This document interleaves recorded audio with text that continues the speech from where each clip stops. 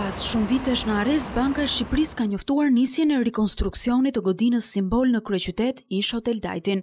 Ky vendim rrezikon të anullohet pasi Shoqata e Ndërtuesve ka përgatitur një padi në prokurori lidhur me procedurën që ky institucion ka ndjekur për tenderimin e këtij objekti. Burime nga shoqata thonë se do të ndjekin të gjitha procedurat ligjore për të zbardhur një proces abuziv.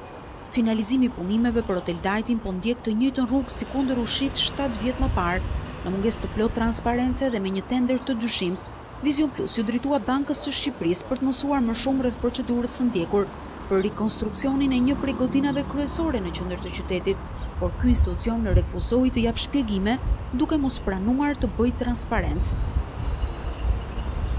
Banka nuk jep asnjë detaj lidhur me tenderin e kryer, pjesëmarrjen e kompanive në garë, E aq më pak nuk thuhet asnjë fjalë kush është firma fituese e këtyre punimeve, me të cilën thonë se janë në fazën e lidhjes së kontratës. Shpjegimi i vetëm që jep Banka e Shqipërisë është forma që do të ketë kjo godinë, ajo do të ruajë arkitekturën e vjetër, punimet do të zgjasin tre vjet, ndërsa njofton se ka ndjekur të gjithë procedurat e nevojshme të tenderit. Por hileja që ka përdorur Banka Qendrore në tenderimin e kësaj godine në fakt lidhet me njoftimin për shpalljen e tenderit, Një sërë kompani ndërtimi thonë se nuk kanë dijeni për këtë procedurë.